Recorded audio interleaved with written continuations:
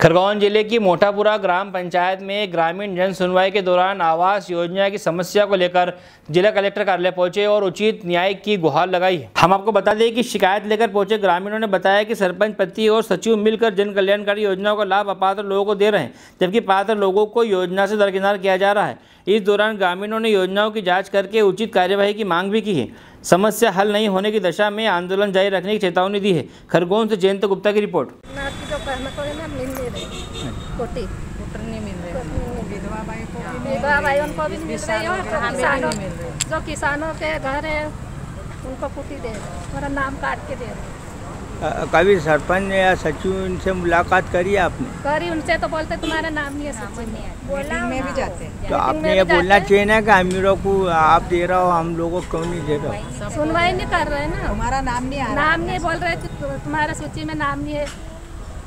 इस तरह आवेदन दिए हैं आप? आवेदन तो दिए। आप क्या मांग करते हैं यहाँ पर? हमको मिलना चाहिए गरीबी है। क्या नाम है तुम्हारा? कहाँ रहते हो?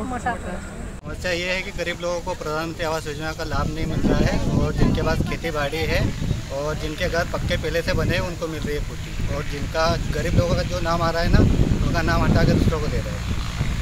तो यही है कि गरीब लोगों के साथ राजनीति हो रही है तो उसी के लिए कलेक्टर ऑफ़िस में शिकायत देना है। लिए कभी पहले शिकायत की थी आपने कहाँ जिला पंचायत में शिकायत की थी। सरपंच सचिव से मिले थे आप लोग? सरपंच सचिव सबसे मिले हैं। क्या बोलते कुछ नहीं बोल रहे आएगा नाम आएगा नाम अब अभी तक नाम नहीं आया और जिनके पास खेती बाड़ी और पक्के मकान है उनके ही नाम आए कब आवेदन किए थे आपने? मेरे को पता नहीं एक महीने पहले ही किया है। और भी गाँव वाले हैं कितने कैसे लोग? ये सब मोटापुरा गाँव के ही कितने लोग हैं जो वंचित हैं आवास योजना से? ये इतने लोग आए सब जितने सब लायक सब वंचित हैं। क्या मांग करते हैं आप?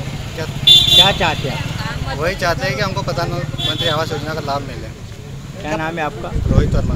कहाँ रहते हो? मोटापुरा हेलो फ्रेंड्स आप देख रहे हैं हमारा channel S W twenty four news हमारे सारे वीडियो सबसे पहले देखने के लिए आप हमारे चैनल को सब्सक्राइब करें और पास में लगे बेल आइकोन को दबाना बिल्कुल भी ना भूलें।